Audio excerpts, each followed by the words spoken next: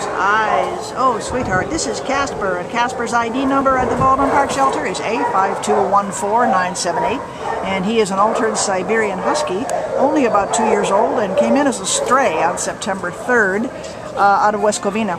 Uh, so that was only a few days ago, which explains why he seems so timid, right, Jana?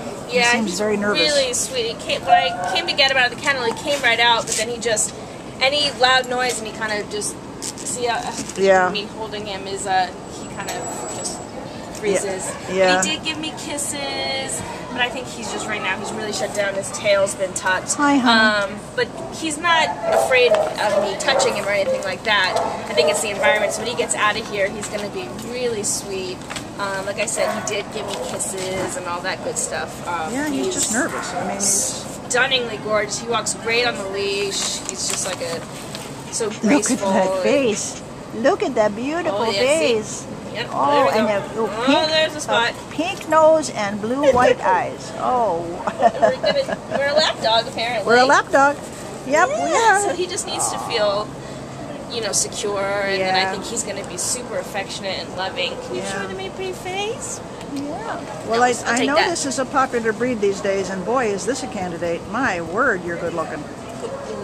Wow. And young, isn't he? Two years old. Yeah, he's...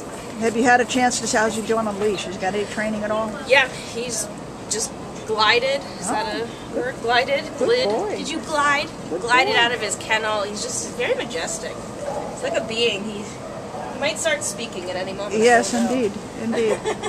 well, hey, who knows how he got separated from his pack, but uh, he was wearing a red collar, if that rings a bell for anybody. Um, you know, somebody should be, should be missing this gorgeous boy. He is. Yeah, he was found in West Covina. You are really something. My goodness, you are a ghost. Absolutely beautiful. Casper. What an obvious name.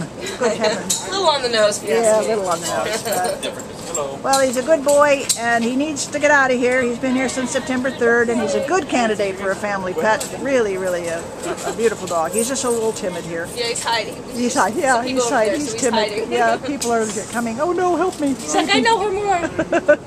oh, what a sweet boy. Look he's at gonna him, yeah. he's gonna be really He's sweet affectionate once he once he gets out. He's hugging you. Oh, yeah. Oh, good boy. This is Casper at the Baldwin Park Shelter. Come and get him. Bye, baby. That's that.